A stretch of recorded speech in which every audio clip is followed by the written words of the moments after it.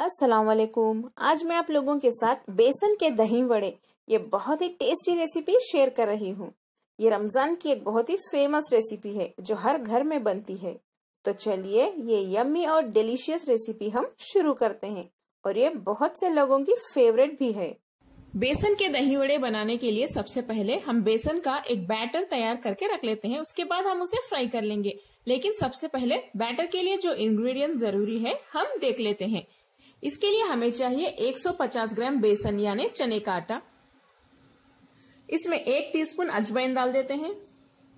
Quarter teaspoon यानी one by four tea हल्दी। नमक टेस्ट के हिसाब से डाल लें। आधा टी स्पून लाल मिर्च powder. Cooking soda one by four teaspoon एक टीस्पून अदरक लहसुन का पेस्ट। हम इसमें एक टीस्पून तेल भी डाल देते हैं। Normal vegetable oil. तेल डालने से बेसन के वड़े अच्छे से स्मूथ बनेंगे।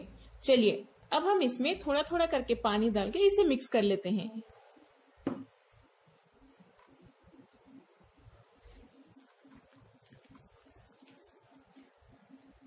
बैटर हमारा तैयार है। इसकी कंसिस्टेंसी देखिए आप। ना ज़्यादा पतला और ना ज़्यादा गाढ़ा। अगर आपके पास अजवाइन ना हो तो आप एक टीस्पून जीरा भी डाल सकते हैं इसमें। चलिए, अब हम इसे ऐसे ही 15 मिनट के लिए रख देते हैं। इसके ऊपर लिड बंद कर दें। उसके बाद हम इसे फ्राई कर लेंगे। 15 मिनट हो चुके हैं। तेल भी हमारा अच्छे से गर्म हो चुका है। चलिए, अब हम बेसन के वड़े फ्राई कर लेते हैं। बैटर धीरे से डालिए। आपको जितने साइज़ के चाहिए, आप उतने साइज़ के वड़े बना सकते हैं।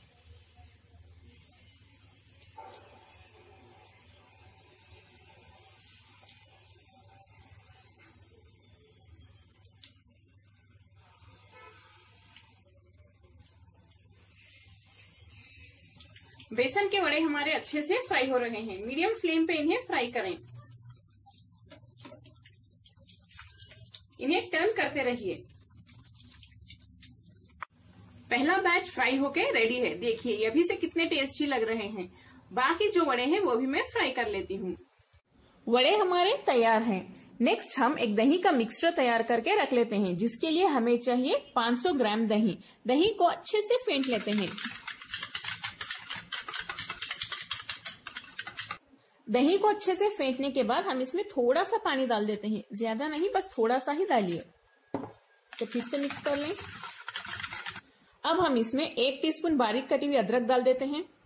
थोड़ा सा बारीक कटा हुआ धनिया।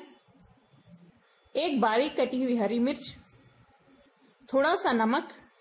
यहाँ आधा टीस्पून डाल रही हूँ। चखने के बाद बाद में हम फिर से ऐड कर सकते हैं। थोड़ा सा बारीक कटा हुआ पुदीना।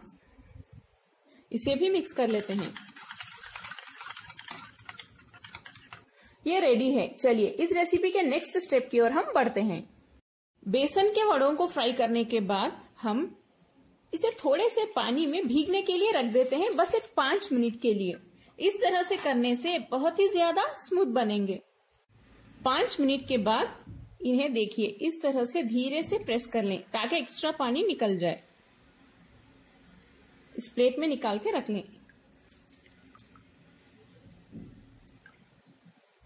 ऐसे ही करके मैं सभी वड़े अच्छे से, देखिए, इस तरह से प्रेस करके रख लेती हूँ। अभी हम इन वड़ों को इसमें रख लेते हैं। इन्हें रखने के बाद जो दही है, इसके ऊपर डाल देते हैं।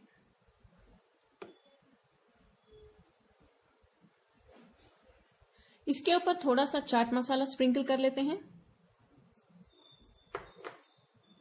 और थोड़ा सा लाल मिर्च पाउडर भी।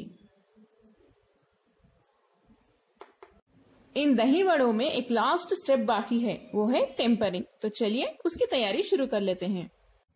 टेम्परिंग के लिए पैन में एक टेबलस्पून तेल गरम कर लेते हैं। तेल गरम हो चुका है। इसमें आधा टीस्पून जीरा डाल देते हैं। राय आधा टीस्पून थोड़े से बारीक कटे हुए करी पत्ता यानी करेपाक।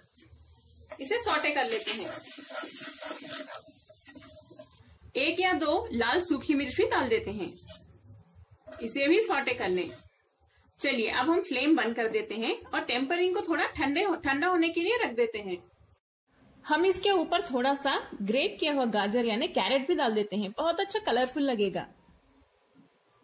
ये ऑप्शनल है। नेक्स्ट इसके ऊपर हम अब टेम्परिंग डाल देते हैं।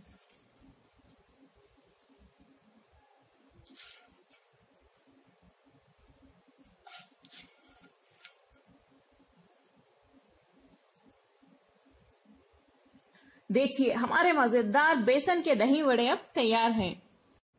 दही वड़े को किस तरह से सर्व करते हैं, मैं आपको दिखा देती हूँ। यहाँ दही वड़े में मैंने कंप्लीट दही का यूज़ नहीं किया है। देखिए, अभी बहुत सा दही बाकी है हमारे पास। क्योंकि अगर आप पूरा दही इसमें डाल देंगे तो ये जो वड़े हैं, वो पूरे दही को अब्जॉर्ब कर लेंगे। इसीलिए सिर्फ़ सर्व करते वक्त हम वो दही का इस्तेमाल करेंगे। मैं आपको दिखा देती हूँ। एक सर्विंग बोल में हम ये वड़े निकाल लेते हैं।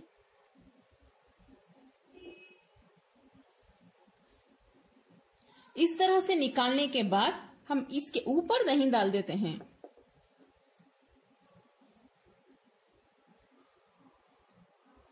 इसे चाट मसाला से थोड़ा सा गार्निश कर लेते हैं। थोड़ा लाल मिर्च पाउडर और थोड़ा सा ग्रेटेड गाजर।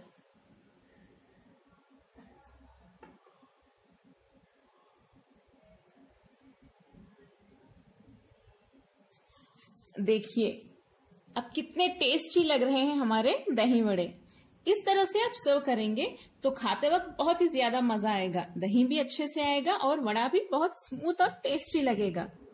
वरना अगर हम पहले ही पूरा दही डाल देंगे तो दही, जब खाते वक्त दही मुँह में नहीं आएगा। इसीलिए हम इस तरह सर्व करते हैं। अगर आपको मेरी रेसिपी पसंद आई तो मेरे चैनल को ज़रूर सब्सक्राइब करें। और कमेंट सेक्शन में बताएँ आपको मेरी रेसिपी कैसी लगी और इसे ज़रूर ट्राई भी करें। बहुत ही ज़्यादा मज़ेदार बनने वाली है ये। आपके घर में सभी लोगों को पसंद आएगी। लाइक शेयर और कमेंट करना ना भूलें। अस्सलाम वालेकुम।